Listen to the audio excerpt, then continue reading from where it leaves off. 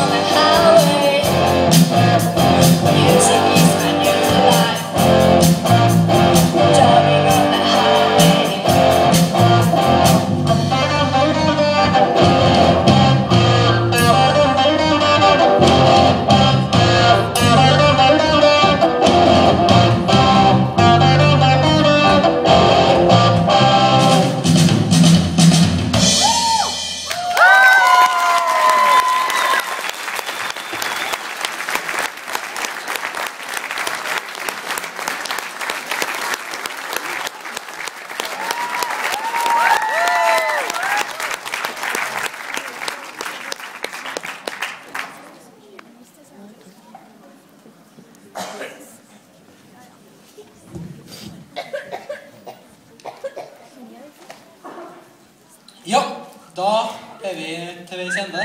Da er det én gruppe igjen.